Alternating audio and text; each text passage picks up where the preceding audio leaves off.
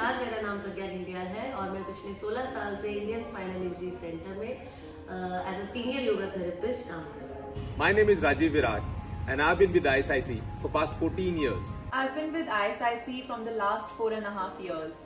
मैं आईएसआईसी में senior yoga therapist हूँ मैं बहुत सारे पेशेंट्स को अलग अलग डिसेबिलिटीज को योगा सिखाती हूँ उसके अलावा मैं यहाँ पीयर काउंसलर हूँ जो कि अ, जो मेरे जैसे व्हील चेयर यूज़र मेरे फ्रेंड्स हैं कंज्यूमर्स हैं मैं उनके साथ काउंसलिंग सेशन देती हूँ प्लस मैं यहाँ पे सेक्सुअल काउंसलर हूँ female sexual counsellor I work as a peer wheelchair skills instructor and sports coordinator.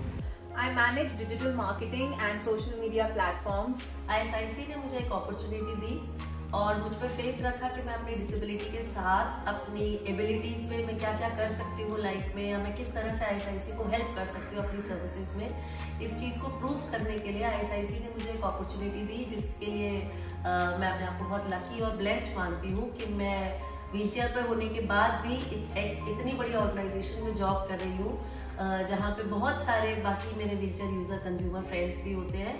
और हम कहीं ना कहीं अपनी डिसेबिलिटी को भी प्रूव कर रहे हैं और अपनी एबिलिटीज को भी प्रूव करने का हमें मौका दिया जा रहा है I came to ISIC in the year 1999, being diagnosed with multiple sclerosis.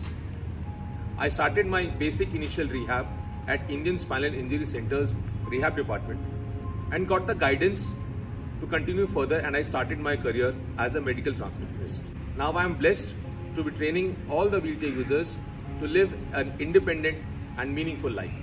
When I met with an accident uh, five years back, I thought my life was over.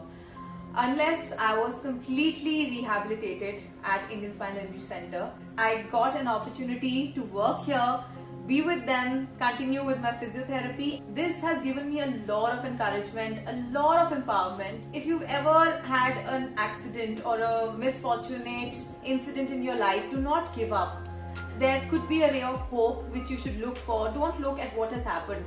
See what you can still do in life. And I think that is what ISIC helps me to learn and uh, understand in my journey. अ, एक inclusive environment में काम करने से benefit ये होता है कि कोई भी डिसेबिलिटी का एक अ, इंसान है जिसे ये ऐसी जगह अपॉर्चुनिटी मिलती है काम करने की जहाँ पे उसके आसपास सब एबल बॉडी है उससे उसका मोटिवेशन फैक्टर बहुत इम्प्रूव करता है उसका कॉन्फिडेंस बहुत इम्प्रूव करता है प्लस कहीं ना कहीं एक एबल बॉडी सोसाइटी और एक डिसेबिलिटी के बीच का जो गैप है वो फुलफिल हो जाता है वो ब्रिज टूट जाता है और आपस में सब लोग मिलकर साथ में काम it's an opportunity given to every one and we should see what they are capable of doing as compare to what they are not And that way, we will be able to get the best out of every individual. ICIC gave me the environment and the support that I could focus on my ability rather than being stuck with my disability. I think disability is all in the mind. Once you decide that you